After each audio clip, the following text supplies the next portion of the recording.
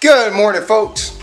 Out here in the shop, getting uh, a little work done. If you notice something that I got going on in the shop that just just ain't right.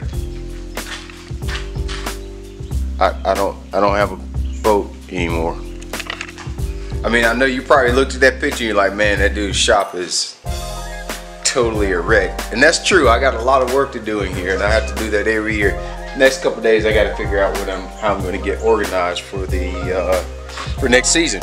But today's video, this is what this is going to be about. I think uh, I think this is a much needed video. I hear you guys asking a lot of questions about this. If You saw my video from when I went down to Newberry a couple weeks ago, um, just kind of talking about what engine I was going to run this year, and. Um, if you guys, I know once, once we get towards the beginning of the year, towards the fall, a lot of guys start thinking about buying a new boat.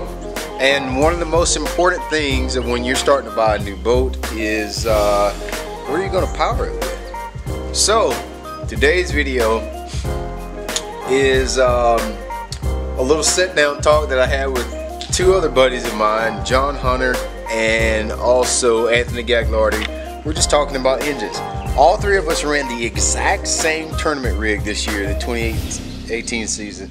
Uh, we both, all three of us ran the Falcon 205, but we all ran totally different engines. Anthony runs the Evinrude G2, I ran the Mercury Verado, and John runs a Suzuki.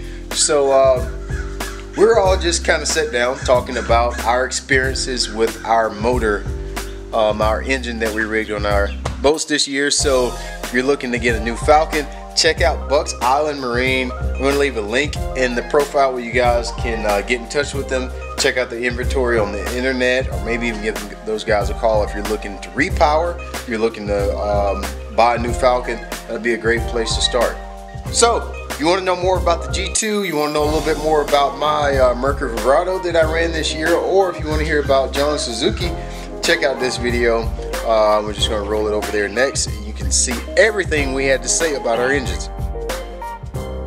So we all run the same identical boat and uh, I think you know it really doesn't matter what engine you put on the boat it's going to be an awesome performing boat. We all obviously have our preferences. Anthony has an Evinrude right? Yep I do. Have a G2 um, I've been with Evinrude for a long time. I think that it's probably been man, maybe 15 years or so. So, you know, I, I grew up in the old HO, HO days and right after the FICHT and um, graduated to the G2. I forget how many years ago it's been now. I guess four maybe, maybe four years we've been in the G2. I don't know that, but I don't know it off the top of my head.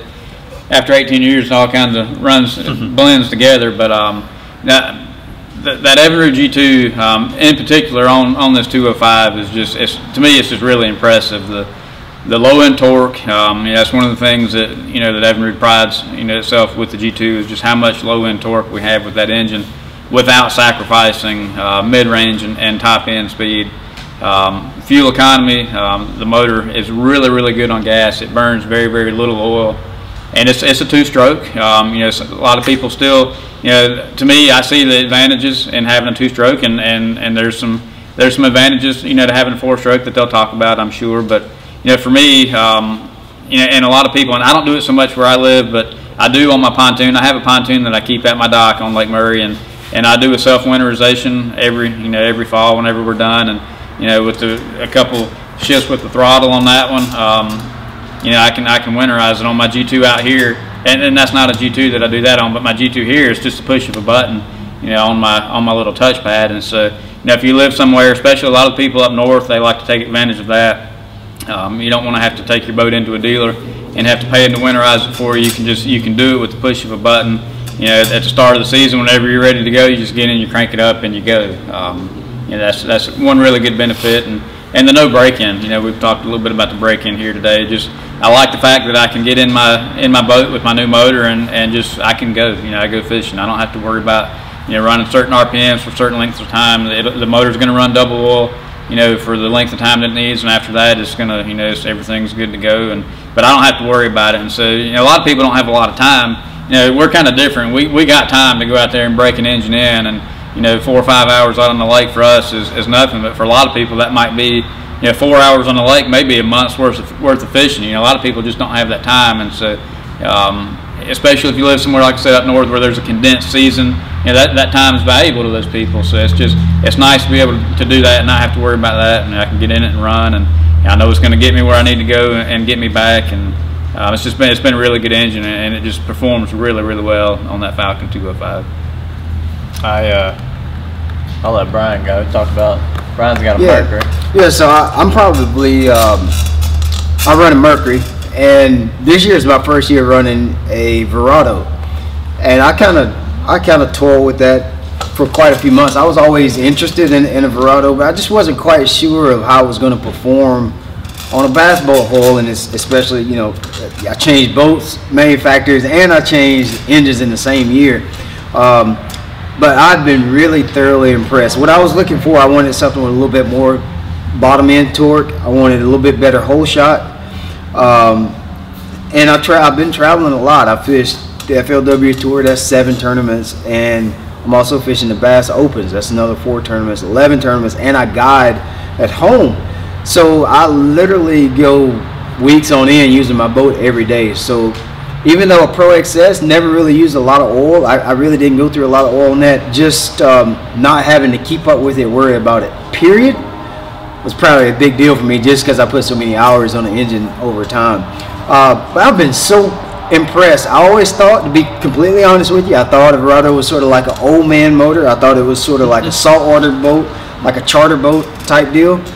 Um, but that's a beast. That that motor is is a true high performance piece of equipment. It, it when you hit the gas on that Pro four stroke, it's time to go. And I've been I'm running 72, 73 miles an hour with that boat uh, with the 250 Verado.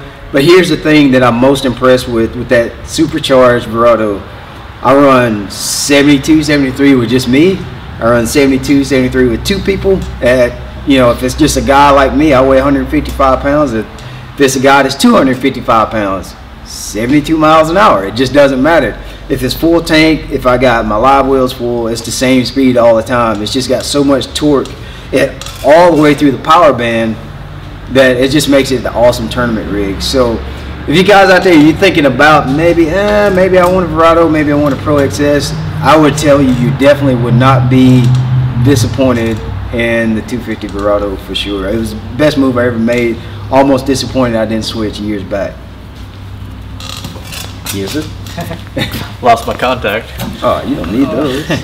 So uh, I personally, I run a Suzuki. This will be going on my third year in the Suzuki, and uh, I mean, really, the the thing that speaks most about the Suzuki is I've been in it almost three years now, and I have not had one single service call. We're, we're, I fished in the Elite Series the past two seasons on the FLW Tour this year, and there is no service crew. Um, all these other engine brands have a service crew 24/7 on the road. If something happens, uh, you can go get you can go get it fixed, and there's always some boats there. I, I personally don't have that, but I haven't needed it a single time. I do carry a spare uh, lower unit and just like a couple impellers just in case, and some props. But I, I mean, I, I haven't had one thing, so that that should speak for itself right there. Three years running, not a single problem.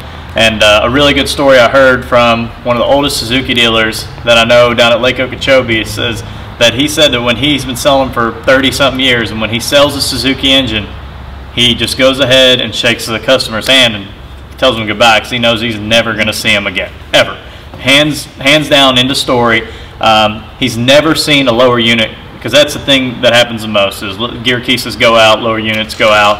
Um, other than you know, impact, he's never seen a Suzuki lower unit come back. Um, they're just, they're super reliable engines. They're fuel efficient. They have awesome mid-range throttle, um, quiet.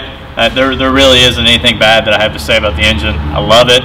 I have no plans in, the near future to ever even consider changing. Uh, you know, that's the engine that I'm going to be running for the foreseeable future. And if you're, if you're thinking about switching to the four-stroke, uh, and looking at a Suzuki. It's a little more affordable than all the other engine brands. Uh, they're quick, they're available, uh, so make sure you check them out if you're in the market. Hey, so if you guys are looking to repower your rigs this year, check out Bucks Island Marine. I'm going to leave a link in the description box where you can check out uh, their website. You can look at some of their inventory. If you're looking to get a new Falcon, that's a great place to get a new Falcon. So if you guys have a Mercury or Suzuki or Evinrude, make sure you drop down in the uh, in the comment section of this video and just share your experience with it. Let everybody else out there uh, that's uh, looking to make the decision to repower a boat or buy a new Falcon, maybe you guys can help them uh, pick the right engine package for them. Hopefully this video helps you out and helps you make the right decisions. So um, take it, do whatever you want to with it. I appreciate you taking time to watch this video. We'll get something else to talk about. Leave me a comment in the comment section. Make sure you subscribe. Give us a thumbs up. Peace.